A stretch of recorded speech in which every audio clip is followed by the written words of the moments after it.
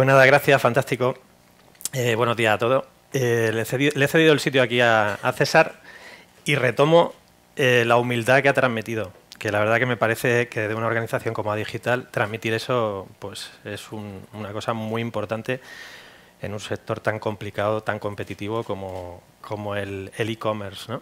Entonces, bueno, esto es un, taller práctico. voy a tratar de ser muy pragmático y por tanto, bueno, pues voy a, basarme sobre todo en mi experiencia.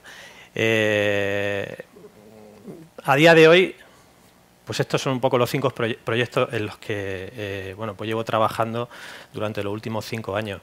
Eh, el primero de ellos fue Codita, que es una solución tecnológica pues para, para al final conseguir iniciar negocios, probar modelos de negocio que bueno, que tiene mucho que ver con el entorno en el que nos encontramos hoy. Y bueno, pues eh, el resto de proyectos, Cuombo es una consultoría, Taller e-commerce está muy enfocado en la formación, en, el asesoramiento personalizado. Y sobre todo, Entervío y Directo del Olivar son los proyectos en los que yo dedico a día de hoy prácticamente todo mi tiempo.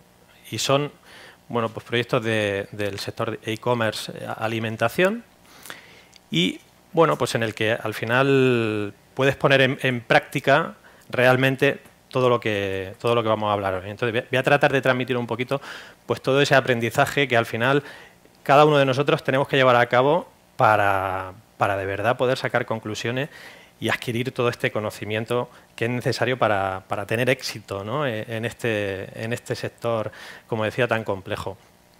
Entonces, retomando un poco esa, esa humildad que decía, más que experto yo me considero especialista, es decir, yo experto, como decía César, pues eh, eh, es muy complejo ser un verdadero experto porque es muy, muy, muy cambiante y a lo mejor lo que sabe hoy, mañana, pues eh, ha cambiado radicalmente. ¿no?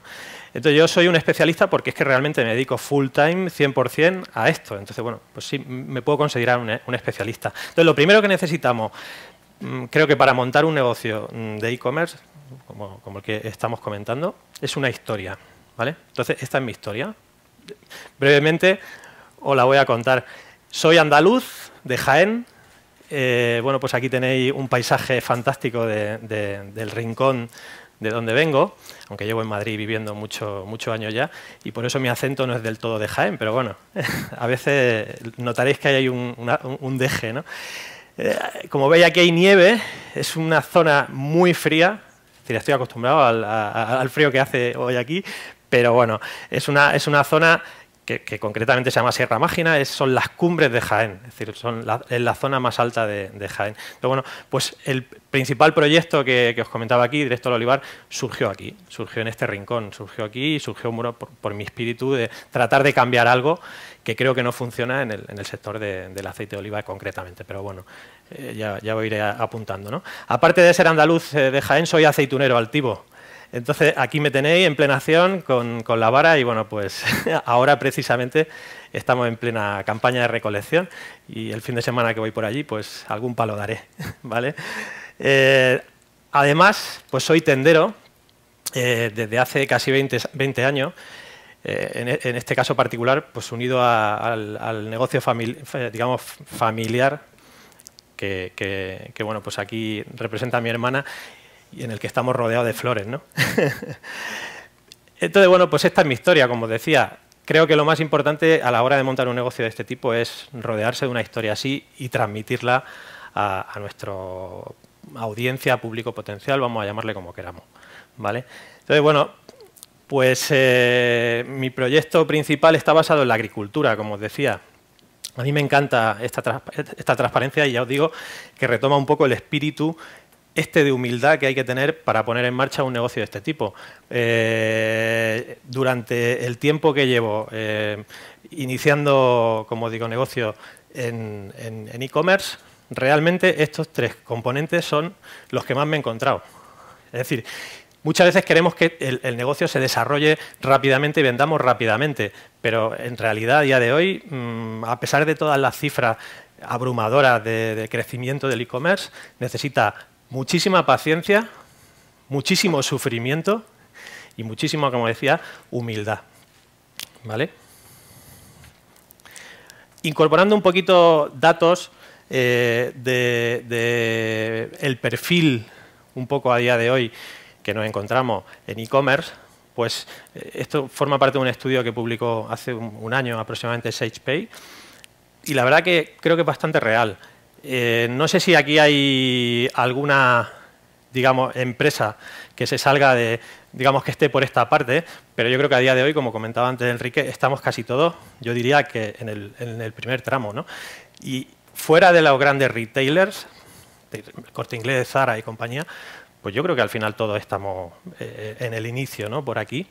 Y un poco el enfoque que yo os quiero transmitir, ¿no? Eh, que cuando empezamos, pues solemos cometer muchos errores. Entonces, aquí hemos venido a hablar de, éxito, ¿no? Y diré, bueno, este tío ahora me va a hablar de errores.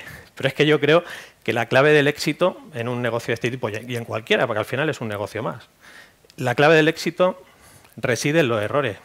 Es decir, cuando de verdad nos equivocamos, es cuando creo que nos damos cuenta de qué es lo que tenemos que hacer, posiblemente de otra manera, para tener éxito. Y a lo mejor lo reconducimos, lo replanteamos y volvemos a equivocarnos. No pasa nada, pero creo que para iniciar un negocio de este tipo hay que estar dispuesto a equivocarse. Entonces, lo que bueno, yo voy a tratar de transmitir hoy forma parte de mi experiencia, no quiere decir que sean errores que tengáis que cometer vosotros. Y además, eh, bueno, pues siempre que alguien te da información de algo en el que se ha equivocado, pues tienes todas las papeletas para ah, no equivocarte tú, o por lo menos tratar de no equivocarte, ¿no? Entonces, no sé si alguien se atreve o al final a, apuntar algunos de estos errores. No sé de aquí de la sala quién tiene de verdad experiencia real y está trabajando en un proyecto de e-commerce. ¿Nadie? Poquito. Pero seguro que todos estos errores os suenan y los compartí y seguro que habrá muchos más. Voy a tratar de condensar un poco esos errores en cinco. ¿Vale? Error número uno que yo he vivido en carne propia, que es sobrevalorar el mercado online. Lo decía antes Oscar, perdón, César. En España, eh, solo el 2% de los compradores compran online frente al offline, es decir, al retail tradicional. Eso es una verdad con un templo. Y eso, eh, pues, nos guste o no, a día de hoy es así, además con la coyuntura económica que con la que, digamos, estamos, estamos trabajando. Entonces, bueno, eso es un punto que conviene eh, tener en cuenta y ser realista. Esto no significa que no tengas que aventurarte a, montar un negocio de este tipo, porque precisamente un poco el primer eh, pilar de la agricultura es sembrar. Entonces, creo que hay que sembrar y estamos en ese momento, en el momento de sembrar. Ahora, que nadie espere, eh, pues en tres meses o en seis meses o incluso en un año, digamos, hacerse rico con un negocio de este tipo, salvo pues que cuentes con una capacidad de inversión importante y de verdad te tome en serio un negocio así. ¿vale? Y además entre en un mercado eh, que efectivamente tenga la capacidad de, de, dar negocio. Entonces, a día de hoy hay sectores que no tienen esa capacidad. Por ejemplo, la alimentación, en el que yo, como decía, estoy muy especializado, pues a día de hoy tiene un target, un público objetivo de una edad mediana alta. Es decir, el comprador de alimentación pues normalmente es padre, madre de familia. Muchos somos afines a Internet, pero la gran mayoría no lo son. No lo son. Entonces, bueno, pues eso hay que tenerlo en cuenta cuando, mm, digamos, desembarca en un sector. Sin embargo, la moda pues eh, ahí tenemos ejemplos claros de crecimientos de volumen de facturación totalmente abrumadores, eh, por ejemplo, de Zara, de, Mango, de, Adolfo Domínguez, de grandes retailers que están vendiendo una auténtica barbaridad online. Pero claro, su target es otro. Es un, es un público muchísimo más afín a Internet, eh, mucho más próximo a, la, natividad digital. Entonces, bueno, eso, es, es importante y a veces es una suposición que hacemos para poner en marcha nuestro negocio y, puede ser una suposición mm, que nos cueste la vida, o por lo menos que requiera eh, tener más paciencia, como comentaba, de la que inicialmente pensábamos. ¿vale? Por ejemplo, estos son datos que ya también apuntaba César. En España, el 50% de los internautas son compradores. Eso más o menos pues, son 15 millones. En Alemania hablamos del 80. un volumen muchísimo mayor. ¿Dónde está la oportunidad? Pues que yo creo que al final llegaremos ahí. ¿En cuánto tiempo? Pues no lo sabemos, ¿vale? Pero, pero, pero el caso es que a día de hoy esto es así. Más datos que a mí me parecen interesantes para valorar el mercado. Pues mira, esto es un estudio también del perfil de comprador. Si os dais cuenta, España está aquí, es el que corta un poco la, gráfica, y de España para arriba, digamos que somos los, la élite social, hablando de compradores, ¿no? Es decir, somos los que, aquí tenéis Social Digital Shoppers, somos los que, digamos, más nos influencia eh, el comportamiento social a la hora de la compra. ¿vale? Sin embargo, aquí en, la parte, digamos, baja de, la élite social, si, me permitís eh, decirlo así, pues están los, países más anglosajones, en los que el comportamiento social pues parece que es mucho menos eh, influyente y son compradores, digamos, mucho más racionales. Bueno, pues es una cuestión de cultura, eso es muy difícil cambiarlo. Mm, cada uno somos como somos. Los países latinos tenemos una cultura, los países anglosajones tienen otra. Si, planteamos un negocio, por ejemplo, internacional, ah, para ir a un mercado internacional, pues esto es interesante tenerlo en cuenta. Y en España, aquí tenéis los techno-shy shoppers, me encanta esa palabra, que son los compradores tecnológicamente tímidos. es decir, los que, ay, esto de Internet está muy bonito, pero yo comprar online, meter ahí mi tarjeta, me da miedo. Pues eh, hay muchísima, eh, muchísimo comprador todavía de este tipo. De hecho, eh, si, os dais cuenta, España es el, el que más TechnoShy Shoppers tiene. Pero bueno, pues eso, lógicamente, con los nativos digitales, cuando cambie la coyuntura económica, todo, pues cambiará, ¿vale? pero interesante tenerlo en cuenta, pues, sobre todo con una aproximación eh, internacional de nuestro proyecto. Aquí tenéis un, estudio de palabras clave de keywords que seguro que, a, muchos, sobre todo los que tenéis un negocio de este tipo, suena. ¿vale? Entonces, ¿para qué vamos a hacer estudios de negocio, perdón, estudios de mercado y, y planes de negocio que vienen muy bien para sentar ideas? Pero no merece la pena inventarse cifras. Es decir, es mucho más fácil irse a herramientas de este tipo, gratuitas, y medir el mercado.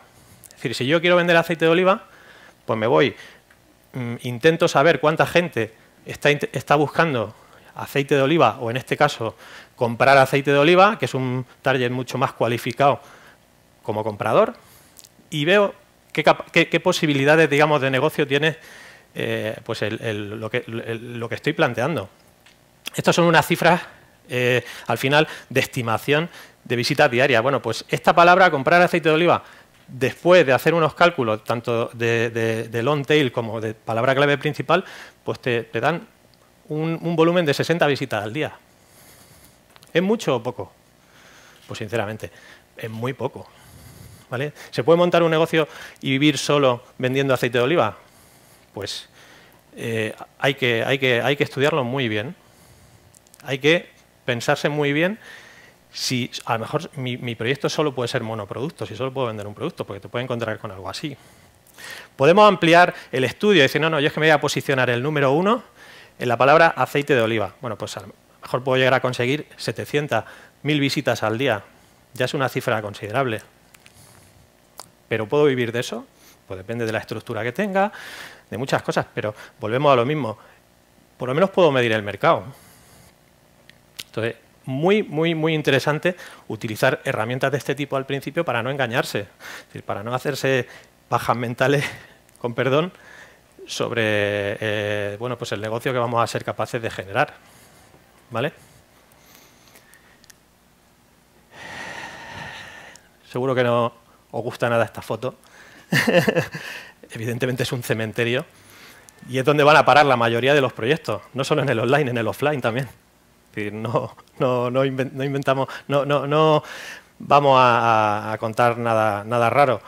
Eh, entonces, ¿cuál es la clave yo creo que para no acabar aquí? Es esta, es posicionarse en un nicho y en un nicho además global. Entonces, estos son tumbas, las tumbas ya están cogidas todas. Hay que buscar un nicho, ¿vale? y eso a mí me parece que, tenemos que tenerlo grabado a fuego. Y el nicho tiene mucho que ver con lo que habíamos visto antes. Al final es un nichito, un trocito de mercado. Y a veces puede que ese nicho no tenga el volumen suficiente como para que podamos vivir de él. Entonces, lo de global es un apellido imprescindible. Es decir, ¿para qué nos vamos a centrar en vender solo aceite de oliva, en este caso eh, en España? Pues vamos a tratar de venderlo fuera. Parece una obviedad, pero es que en e-commerce montar proyectos internacionales tampoco es tan fácil como traducir una página. Mm, requiere una complejidad muy importante, muchas, muchas veces por factores culturales como los que también veíamos antes. ¿no? Y esto, pues absolutamente clave. Es decir, ¿todo esto para qué? Pues porque tenemos que ser capaces de conseguir una propuesta de valor única. Es decir, ¿para qué vamos a centrarnos en un nicho si le podemos vender a todos, como el corte inglés? Bueno, pues si, si quieres venderla a todo el mundo eh, y tu propuesta de valor es que le doy producto a, cualquiera, pues prepara la cartera para hacer marketing y, competir con Amazon, con el corte inglés y con todos esos grandes retailers, que bueno, que creo que, no, hace falta que, diga lo difícil que, puede llegar a ser y lo costoso sobre todo. ¿Vale? Entonces, definir al final una propuesta de valor única es absolutamente clave.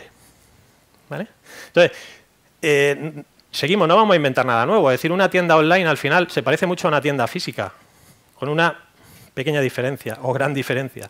Al final una tienda física es un negocio de base inmobiliaria, depende mucho del local, de la tienda de donde, abramos por nuestro negocio, y una tienda online es un negocio de base tecnológica.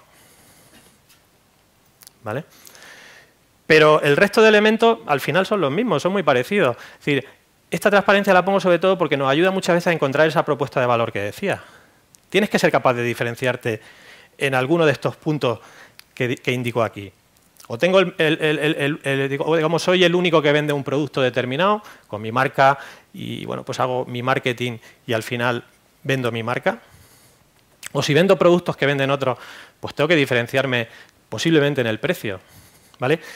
Si mi estrategia al final es aparecer el primero en los buscadores, pues tendré que currarme toda la parte de posicionamiento o no solo en los buscadores desde el punto de vista de keywords, como veíamos, sino de marca. A Zara le importa muy poquito aparecer el primero en Google por la palabra moda, muy poquito. Su estrategia es su marca. Entonces, posicionamiento no es solo en buscadores, también es posicionamiento de tu marca. ¿vale? Si tu estrategia es la promoción, pues lo que decía antes, prepara la cartera. Pero si vendes, por ejemplo, zapatos y eres un gran retailer de zapatos, pues a lo mejor la única manera que tienes de verdad de generar volumen de mercado es haciendo anuncios pues, en, televisión, por ejemplo. Entonces, bueno, volvemos a lo mismo. Creo que se escapa un poquito de, las posibilidades de los que empezamos. ¿vale? Por supuesto, la logística también eh, es importante en el offline, porque necesitas productos, necesitas stock, pero en el online es mucho más importante. Veremos más adelante pues, eh, algunos pequeños apuntes de logística, ¿vale? Pero lo que decía al principio, la tecnología. Ahí es donde reside realmente la diferenciación a la hora de montar un negocio de este tipo a un negocio del offline. ¿vale? Es lo que nos va a marcar al final poder tener una experiencia de usuario diferente, una, experiencia de usuario única. ¿Vale? Error número dos. Equivocarse con el modelo de negocio online. Nosotros puede, que tengamos un, negocio, un modelo de negocio en el offline suficientemente bueno, pero lo trasladamos al online y resulta que no funciona. O hay que adaptarlo. Entonces, es muy típico equivocarse en el modelo de negocio. Es decir, en el concepto de mi negocio. Aquí tenéis, pues también antes lo apuntaba César, pueden montar un negocio B2C o un negocio B2B. Eh, a día de hoy, lo, digamos, lo más atractivo es hacer un, negocio B2C. Eh, y aquí un poco pues tenéis qué modelos de negocio a día de hoy suelen ser los habituales.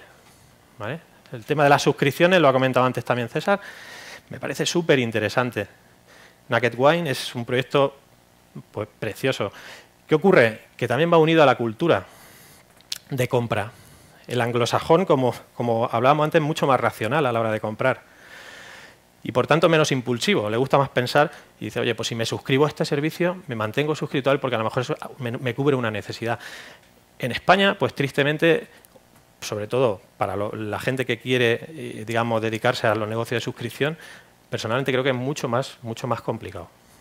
Por nuestra cultura y sobre todo por el momento eh, económico en el que nos cuesta mucho comprometernos, digamos, a, pagar un fee mensual por recibir un servicio, aunque sea un fee mensual bajo. ¿Vale? Pero bueno, eh, son, son modelos de negocio súper interesantes. Dropshipping es otro modelo de negocio muy conocido para, para los, eh, emprendedores y empresas que, quieren empezar en este negocio. Y a mí me parece sobre todo muy interesante para aprender, es decir, para aprender realmente las complejidades que implica meternos en, este, en este tipo de proyectos. Pero lo veo muy difícil para ganar dinero, sinceramente. ¿Vale? ¿Qué parámetros suelen fallar en el modelo de negocio? Pues yo os pongo aquí dos, que, yo personalmente he tenido que, trabajar mucho para adaptar mi modelo de negocio. Principalmente son el margen y la recurrencia. La recurrencia es la frecuencia de compra. E, en e-commerce a día de hoy me parece quizá el parámetro, y en retail en general, el parámetro más, más importante e interesante para que el modelo de negocio funcione. ¿Por qué? Pues porque, como luego veremos, al final el coste de adquisición de clientes cada vez es mayor y si no somos capaces de amortizar ese coste mm, varias veces, es decir, que, fidelizar a un cliente y que nos compre más de una vez, pues seguramente estaremos perdiendo dinero con ese cliente. Entonces, tenemos que elegir modelos de negocio con recurrencia. Y eso no es trivial. Ejemplo, yo vendo una caja de aceite de oliva eh, que lleva 15 litros y salvo que te beba el aceite de oliva, te unte y te bañes con él, pues no me compra aceite de oliva todos los meses. A lo mejor los compras cada seis meses. Entonces, si tu modelo de negocio no le da una vuelta y trata de buscar una rentabilidad para ese cliente que te compra una vez y no te vuelva a comprar más hasta seis, hasta seis meses después o un año después, o se olvida de ti porque es mucho tiempo. En retail es mucho tiempo, seis meses, incluso un mes. ¿Vale?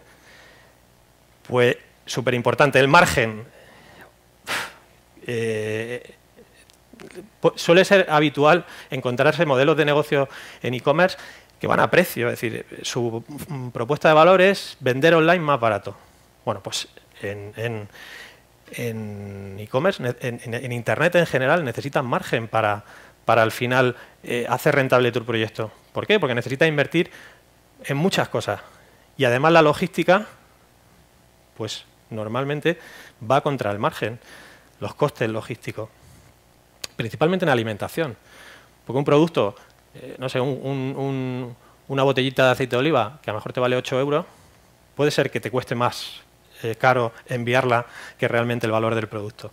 Entonces, bueno, ahí hay que darle una vuelta al modelo y, definir todo esto muy bien, ¿vale? Y por último, en este, en este error número 2, probar el modelo de negocio online. Es decir, no vale con imaginarse que esto va a funcionar, no, no tienes que probarlo. Entonces, hay que seguir una filosofía que te permita probar el, modelo de negocio pues de una manera muy práctica ¿vale? y además muy autónoma. Es decir, yo aquí he vivido algo y además creo que fue un acierto, en mi caso no fue un error, fue un acierto por desconocimiento a nivel de desarrollo. Yo no soy desarrollador. Entonces me metí en una plataforma que yo eh, necesitaba, digamos, mm, al final eh, mover por mí mismo, ¿no? es lo que os digo aquí. Me parece súper importante al principio, cuando necesitas probar el modelo, meterte en una solución tecnológica que tú por ti mismo puedas mover. Eso no significa que la tengas que desarrollar tú, o sí.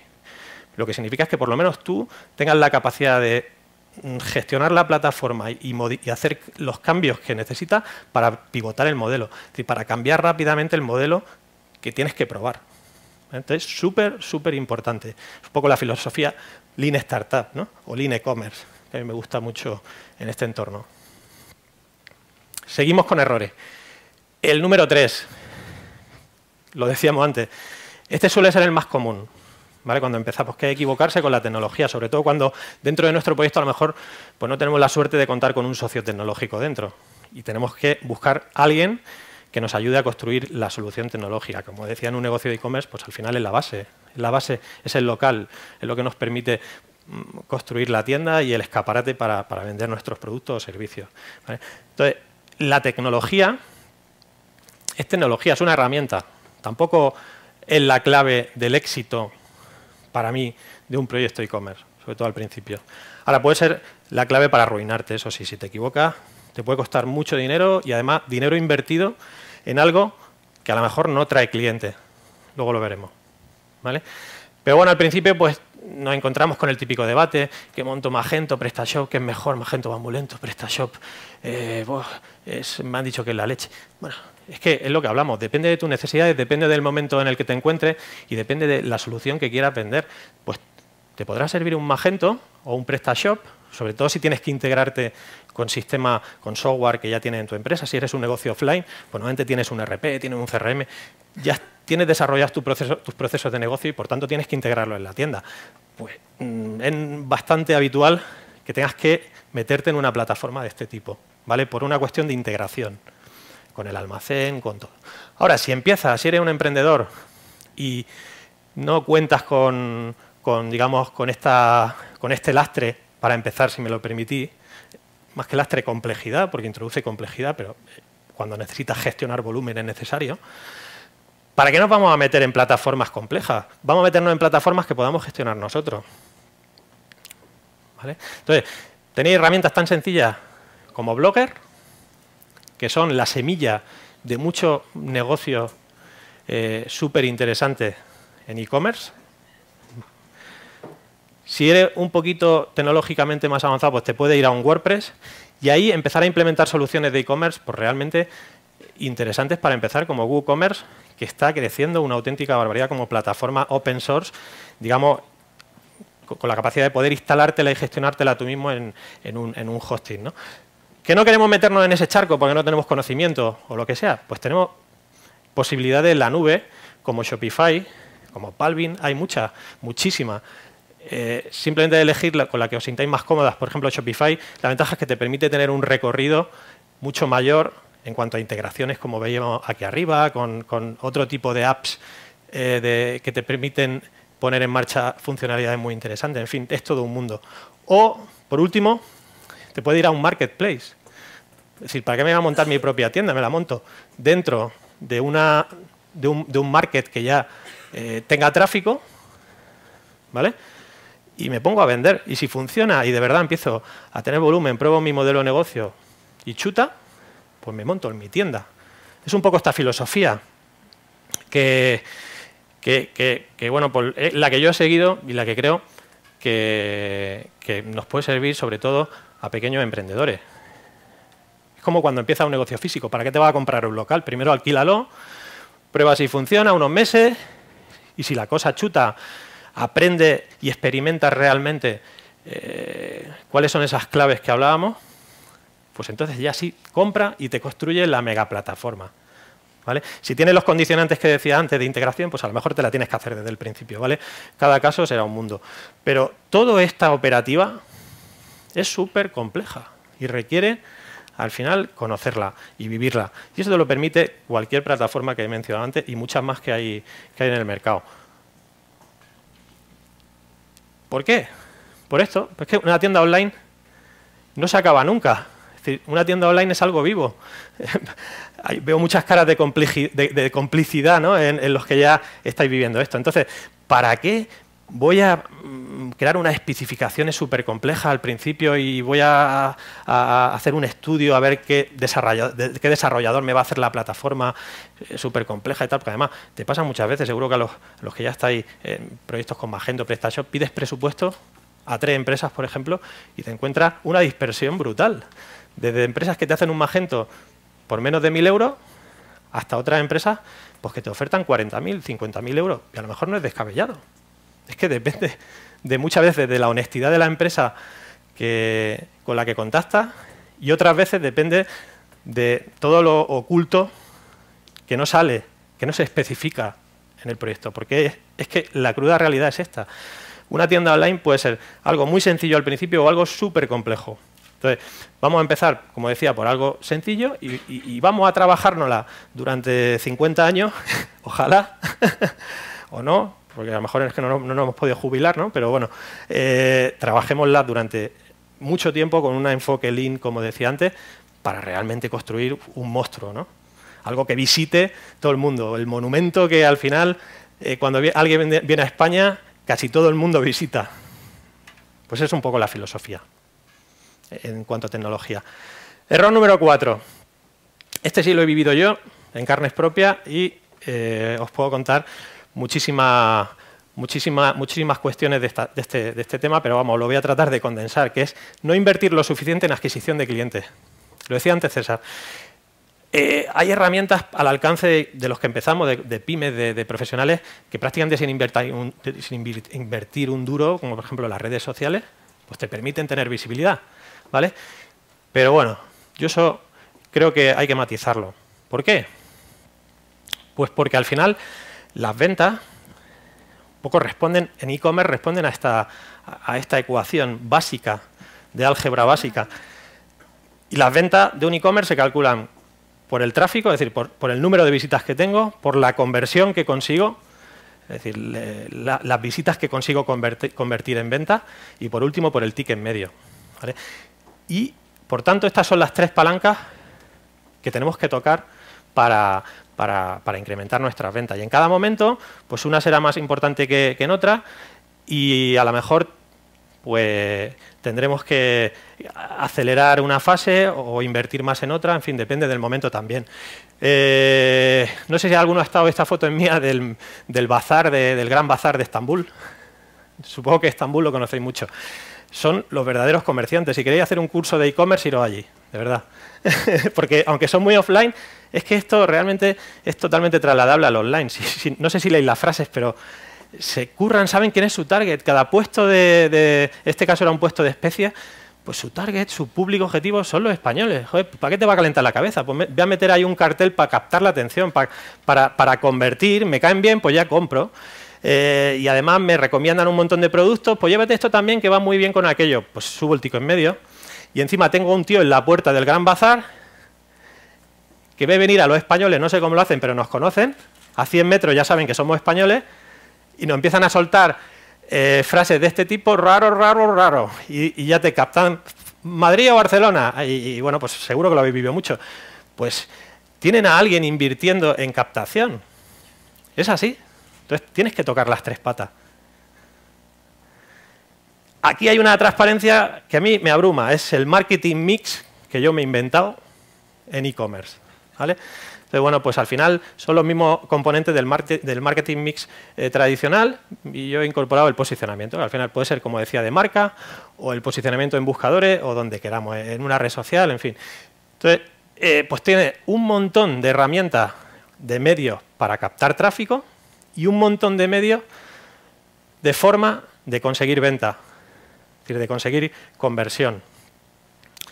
Y esto, si queremos tocarlo todo, de verdad, para, alguien que empieza con pocos recursos, sobre todo si eres Juan Palomo, me parece mm, inabordable. Es decir, tienes que al final montar un equipo, rodearte de gente que te ayude a desarrollar toda la estrategia de marketing. Ya os digo, si sobre todo quieres abordarla eh, de forma tan compleja como, como esta, es decir, tocar todos los palos. Entonces, muchas veces no nos compliquemos la vida, lo decíamos antes, en la era digital tu mejor marketing son tus clientes. Y esto es súper importante. Tiene muy poca credibilidad que yo esté constantemente hablando en las redes sociales de mí y de, lo, buenos que son mis productos. Es mejor que lo digan nuestros clientes, ¿no? Entonces, eh, lo apuntaba antes también César, súper importante invertir en opiniones, en generar eh, experiencia, que, que, otros usuarios cuenten su experiencia de compra en nuestros productos. Y de verdad, la gente está deseando, sobre todo, como decía, por el comportamiento social que tenemos en, España en particular, está deseando contar su experiencia, buena o mala. Pero si tenemos un buen producto y lo hacemos bien, posiblemente tengamos muchas más buenas que malas. Entonces me parece súper, súper, súper, súper importante desarrollar esto. Y parece evidente, pero yo lo estoy haciendo desde hace muy poquito tiempo, sinceramente. ¿Por qué? Porque, por lo que os decía antes, hay tantas cosas que hacer. Eh, eh, todo el mundo habla de SEO, todo el mundo habla de AdWords, de SEM, de, eh, en estrategias de marketing. Aquí Sergio nos va a dar una clase magistral a continuación. todo el mundo habla de eso. Entonces es fácil confundirse, es fácil empezar, sobre todo si estás solo, a, seguir estrategias eh, que a lo mejor nos desesperen, nos impacienten, porque no conseguimos los resultados adecuados, porque es lo que os decía, es muy complejo. Entonces, o tenemos recursos y inversión para, iniciar o, digamos, poner en marcha todas las estrategias que comentábamos, o al final nos vamos a impacientar.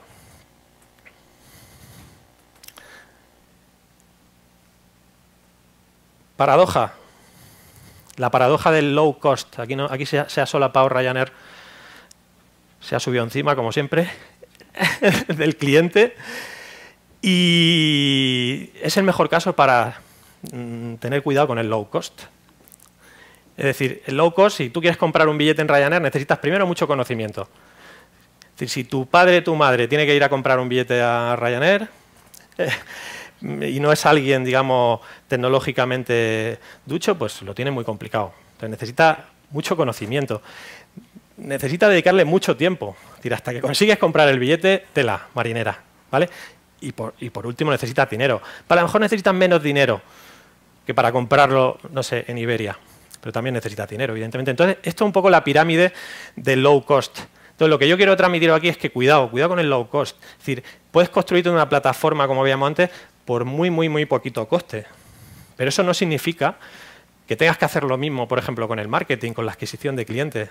Igual todo lo que te ahorra en la plataforma, tienes que de verdad dedicarlo a la adquisición. Entonces, cuidado con el low cost, porque a veces nos puede confundir y creer que montar un proyecto de esto, como eh, montarte una web gratis o casi gratis, pues vender online también. Pues no. ¿Vale? Pues no. Y aquí tenéis, por ejemplo, un caso. Un ejemplo muy tonto eh, de, coste de adquisición. Eh, típico. El mío, por ejemplo, sin ir más lejos. Al final, si lleva a cabo una estrategia de SEM, una estrategia de AdWords, que al principio la recomiendo, porque si no te conoce ni, Dios, como dice mi amigo Ricardo Lop, eh, pues va a ser muy difícil que te posicione aunque tu SEO sea la Virgen de Lourdes, ¿no? como él dice. Entonces, eh, pues al principio va a tener que invertir. Eh, las redes sociales te va a pasar lo mismo. Nadie te va a conocer. En las redes sociales es muy difícil ir a vender directamente. Entonces, las redes sociales necesitan trabajárselas mucho y necesitan mucho tiempo. Entonces, al principio necesita adquirir clientes como, pues como siempre se hace, sacando la cartera, e invirtiendo. Vale, entonces, eh, esta transparencia, que luego la tendría a vuestra disposición, bueno, es un, es un cálculo muy sencillo, tampoco, tampoco es tan complejo como aparenta. ¿vale? Pero al final puedes tener un coste de adquisición, en este caso 20 euros en el ejemplo, que a lo mejor la primera venta, como os decía, no resulte rentable. Y entonces te das cuenta y dices, me he equivocado en el modelo de negocio. Entonces, ¿qué hago para subir, eh, por ejemplo, el ticket medio? y, hacerlo rentable. es como una rueda. Cuando ha avanzado tienes que ir otra vez, otra vez hacia atrás y, volver a replanteártelo todo. en definitiva, el coste de una tienda online, como dice aquí, depende de tu objetivo. si quieres conseguir 30 pedidos al día, pues necesito 3.000 visitas al día, con un 1% de conversión. Si mi conversión es del 5%, necesitaré menos. Si es de menos del 1%, que es también bastante habitual, pues necesitaré muchas más. Y esto es así. Te puede gustar más o te puede gustar menos. Pero es así. Y yo, sinceramente, lo, vivo todos los días. Y, no nos gusta. A los que vendemos online no nos gusta, pero es así. Si no hay tráfico, como veíais antes, no hay venta. Entonces, si quiero vender más, pues tendré que sacar más pasta. Sobre todo para empezar. ¿Vale? Y error número 5. Y con esto termino. No analizar lo suficiente. Pues fundamental, ¿no? En, el offline esto, por desgracia, no lo, no, lo, tiene el comerciante. Es decir, eh, eh, es muy difícil analizar datos. En el online es que podemos analizar prácticamente todo. Todo. Todo. Entonces, la analítica tiene que estar en el centro de esa estrategia que comentábamos, que al final voy a hacer SEO, voy a hacer SEM, voy a hacer email, voy a hacer todo, ¿vale? pero analiza y trabájate muy bien qué fuentes te funcionan y qué fuentes no. ¿Vale? Por ejemplo, aquí el social, este es de un proyecto en los que yo participo, pues el social solo convierte un 0,50. Pero eso no significa que las redes sociales no funcionen. Mejor funcionan para convertir, pero no para captar. Y no para, para convertir el tráfico directo que me viene de las redes sociales, sino a lo mejor el tráfico que luego me viene directo buscando mi marca porque me ha conocido una red social. O porque estoy desarrollando estrategias de opiniones, como decía antes en mi web, que me ayudan a convertir. A lo mejor la fuente me ha venido por aquí, pero estoy incorporando eh, opiniones y componentes sociales en mi proyecto. ¿vale? Entonces la analítica no es nada, digamos, trivial. Eh, el embudo de conversión, pues sobre todo si estamos en esa fase de conversión en la que ya tenemos mucho tráfico, pues hay que currárselo. Y esto tampoco es fácil, pero hay que hacerlo. Pero bueno, son pasitos, ¿vale? Son evoluciones que vamos a tener que ir dando en nuestro proyecto. Y por último, aquí tenéis eh, dónde la gente deja de convertir. Es decir, muchas veces hay mucha tecnología detrás, analizamos muy bien el embudo, tocamos la plataforma, hacemos test súper complejos de usabilidad y tal. Y muchas veces el sentido común nos da mucha más información. Hay estudios, en este caso de la ONSI, es un estudio hace un par de años, que los clientes te están diciendo que no le cobre los gastos de envío. Me da igual, métemelos por, otro sitio, pero no me los cobre. No quiere pagar gastos de envío. El 80%, es decir, blanco y en botella. Eh, no quieren registrarse. ¿Cuántas webs, cuántas tiendas nos obligan al registro sin ni siquiera mostrarnos los gastos de envío, por ejemplo? Pues, pues, la gente no quiere que, le obligue a registrarse. La, gente a lo mejor no está en casa eh, cuando nosotros vamos a ir a entregarle el, paquete. Entonces, esto ocurre muchísimo en logística, muchísimo. Más del 30% de las entregas generan incidencia. Esto es así, es, es una realidad. Y seguro que como compradores lo viví. Si tú no estás en casa todo el día esperando a que te entregan el pedido. Tú tienes tu trabajo, tienes que salir, tienes a tus niños, en fin, tienes tu vida. Entonces, eh, ojo, porque esto forma parte de la experiencia de usuario. Y si no lo haces bien, pues a lo mejor no te compran más. Entonces, súper importante este punto de la logística que hablamos antes, ya no en costes, no, en experiencia de usuario. Es muy, muy, muy, muy importante. Y para esto hay soluciones, por ejemplo, como las franjas horarias que en alimentación, pues a nosotros nos funcionan fantásticamente bien. Y por último, todo esto hay mucha tecnología, he hablado de marketing, de muchísimas cosas, pero al final esto es comercio. La base del tendero es el, retail es detail, ¿no? Como dicen los americanos. Es decir, la tecnología, la ecuación esta del amor que hemos visto antes, es súper compleja. Pero la base es, el detalle, es decir, la atención al cliente, al final es donde se traduce todo esto. Y, y dar detalle, pues en e-commerce, dar cariño, es súper importante. Entonces no me quería despedir sin daros mi detalle. ya he dicho que yo soy tendero, así que aquí tenéis un cupón descuento para compraros un aceite maravilloso, como comentaba antes, eh, pues por, haber venido a la jornada y agradeceros sobre todo pues que, que, hayáis eh, prestado atención a la charla. He visto hay caras de todo tipo, pero, pero muchísimas gracias por vuestra atención.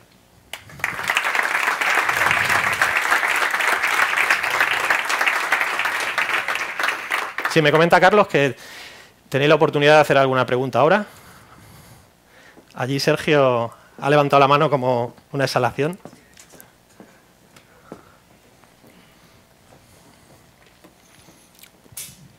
Según tu experiencia, Ricardo, el, añadir un, chat online a un, e-commerce, eh, ¿cómo, ¿cómo mejora realmente el porcentaje de conversión? Pues eh, puede mejorarlo en mucho, me parece una pregunta muy, muy, muy interesante. ¿Puede mejorarlo en mucho o puede empeorarlo?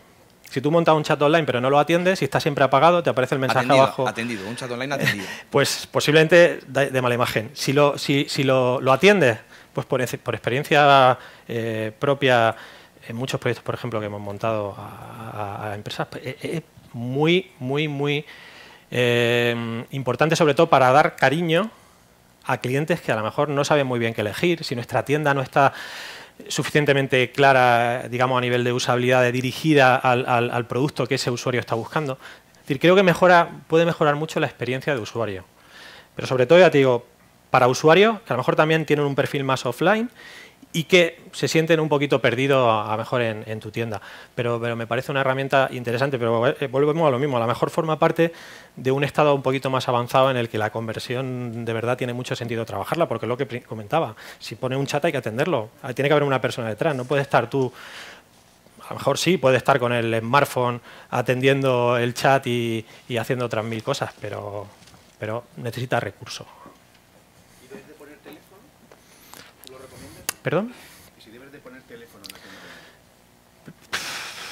Yo evidentemente sí. ¿Pero por qué? Porque, porque al final vender supone ganarse la confianza de- del usuario. A mí me llaman muchísimo por teléfono usuarios que están delante de la tienda que están a punto de dar al botón comprar y les surge una duda. Y si no tienes teléfono a lo mejor se va. Entonces, me parece fundamental para transmitir sobre todo confianza. Hay gente, el TecnoShy Shopper este que hablamos antes, hay muchísimo, muchísimo. Necesitan saber que a lo mejor hay detrás alguien de esa, de, esa tienda, hay alguien, hay un- un- una persona que acaba de darle ese punto de confianza que necesita. Sobre todo si no eres una gran marca. Si eres Zara, pues bueno, puedes poner un teléfono de atención al cliente eh, y atenderlo desde Irlanda y a lo mejor no puede ser una atención especializada, que no, quiero decir que no lo sea, pero quiero decirte que, tiene mucho que ver con el cariño al final que necesita darle al usuario.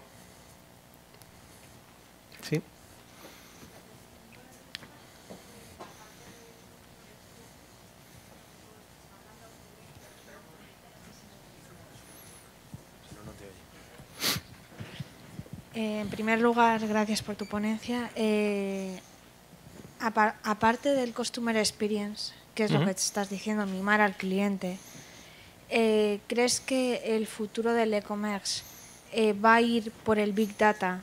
Se está acumulando muchísimo, muchísima información. Los e-commerce van a tener que, de alguna manera, abordar ese problema. ¿Crees que por ahí van los tiros del, futuro del e-commerce o del mundo online, desde tu punto de vista? Del Big Data, es decir, de la gestión abrumadora de tanta información, pues, pues sí, es, eh, cuando hay tanta complejidad, a lo mejor tu propuesta de valor única, tu factor diferencial, lo encuentra en conocer muy bien tu perfil de comprador o el usuario que de verdad te interesa que te compre. Entonces, tener toda esa información a tu alcance, pues te facilita mejor tener éxito. Pero volvemos a lo mismo, depende de la complejidad de tu negocio, de tu objetivo, del volumen que gestiones. Pero sí, es una componente, una componente evidentemente de mi punto de vista que me has preguntado, pues que, que- que- cada vez será más importante. No es futuro, es presente, pero cada vez será más importante porque cada vez será más complejo, habrá más información, el usuario también eh, estará cualificadamente, digamos, tecnológicamente más cualificado y necesitará más información.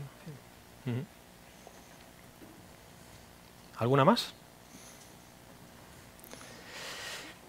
Pues nada, pues gracias de nuevo.